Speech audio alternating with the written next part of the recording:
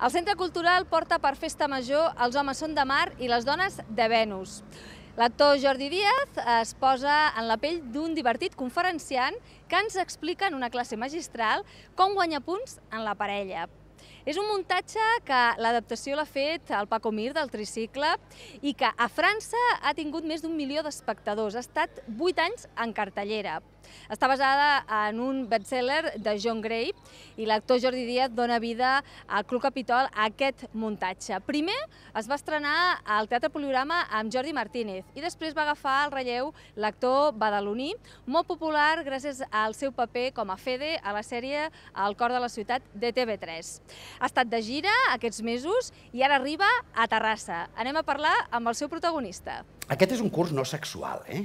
Però no es preocupin, que acabarem parlant de sexe, no se sap per què, però sempre acabem parlant de sexe. Curs per suportar la parella. Segons una antiga llegenda, som diferents perquè els homes venen de mar i les dones de Venus. Bàsic. Però costa d'entrar aquí. Que som diferents físicament, és evident. Ai, que tens una mica de crema de pesto aquí. Nye, nye, nye, nye. Eh? Nye. Són tonteries, tonteries. Tonteries. No tenim els mateixos filtres. Què? Cortocircuito! Els homes mai tenen de problemes, no. Què, què, què, què? Com ha anat el dinar? Què? Com ha anat la reunió? Què, què, què, què, què, què, què? Hòstia. Pues vale. No s'equivoquin, eh? Que aquí reparteixo per tothom, eh? Potser m'he passat una mica. Molt sutil tot plegat, eh? Molt femení. Val la pena o no? Hòstia! Hola, què tal, Jordi? Bona tarda. Benvingut a Terrassa. Moltes gràcies. Tan diferents som les dones i els homes? Bueno, bastant. sí, sí, molt. Molt, molt, molt. El títol ja ho diu, no? Uns són de mar i els altres són de Venus. Francament, sí. Home, tots tenim ulls, eh, orelles, no? un nas i aquestes coses, però diguéssim que en la, en la part emocional, en la part, diguéssim, del caràcter, en la part de, de les formes de fer en aquesta vida, doncs varien bastant, sí. Com és aquesta conferència que ens explicaràs, que ens expliques en aquest, en aquest muntatge de John Gray? Bueno, aquesta conferència, diguéssim que, a part de que la va escriure el John Gray, que va ser l'autor del llibre, d'aquest llibre que es va vendre, diguéssim, milions i milions de còpies, s'ha de dir que, diguéssim, va haver-hi un, un actor francès que és el que va agafar la idea d'agafar aquest llibre, d'adaptar-lo com un monòleg teatral i, bueno, convertir-lo en un èxit absolut a França d'una manera tan brutal que, bueno, va passar les fronteres franceses i ha recorregut tot el món.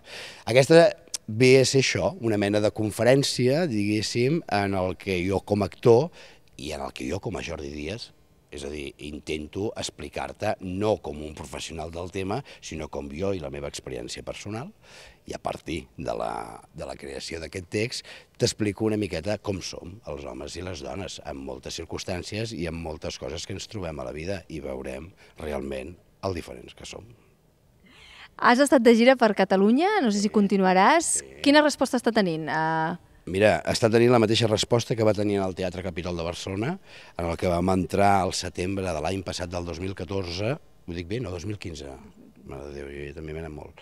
Doncs vam entrar al setembre del 2015, vam sortir del teatre al maig aquest passat del 2016, és a dir, que gairebé nou mesos parint aquesta funció i aguantar una funció teatral a Barcelona durant tant de temps, diguéssim que ja es pot considerar un gran èxit, i ha sigut un èxit perquè ha vingut moltíssima gent a veure-la, i això suposo que ha donat un ressò, ha donat un, un, un diguéssim, una, unes veus, un, un, un boca-orella que se'n diu, i, i diguéssim que a, les, a la gira s'està notant i la gent està venint, i francament s'ho està passant molt bé.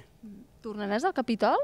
Crec, crec que al setembre... Al Tornarem al Capitol justament la mateixa data que vam tornar l'any passat, que serà el 3 de setembre. Què et sembla? Molt bé. I aquí a Terrassa has estat alguna vegada actuant o és el primer cop? Eh, no, jo... Què tal és el públic terrassenc? Bueno, és, és un públic exigent, les coses com sigui. Sou molt exigents, però és normal. Estem en una terra, diguéssim, de tradició teatral.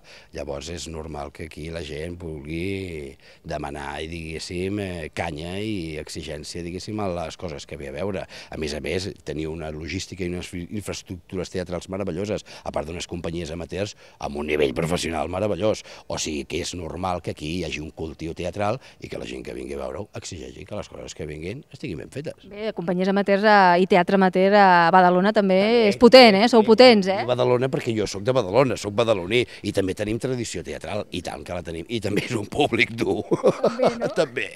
Bueno, doncs et deixem que et preparis per aquest monòleg, perquè també és dur fer un monòleg, m'imagino que estàs aquí sol, eh, una hora i tres pissarres. pissarres, i que vagi molt bé, molta merda. Molta merda, també, per les festes de Terrassa, que sé que estem ben plenes festes majores. Sí, sí. Moltes gràcies. Perquè les dones no necessiten peixets i els homes sí. Fixin-se, estic jo a casa meva passant l'aspiradora. Ai, quants de pèl. Són del Mariano, és més maco. Arriba la Maria amb els seus peixets. Uy, nene, pero si esta alfombra parece nueva. Pero si se podría comer encima. Eres el puto crack de la aspiradora. ¡Sí! ¡Soy el puto crack de la aspiradora! ¿Yo qué faig? Tercera, quarta, quinta, sexta! Oh, oh, Multiplico la meva intensitat! Oh, Ara imaginin-se al revés, que és la Maria la que està passant l'aspiradora. Mm, pelos y pelos y pelos y más pelos de la mierda de su perro. Mm. Arribo jo amb els meus peixets. Oi, Maria, nena, pero si esta alfombra parece nueva. Si se podría comer encima. Eres la reina de la aspiradora.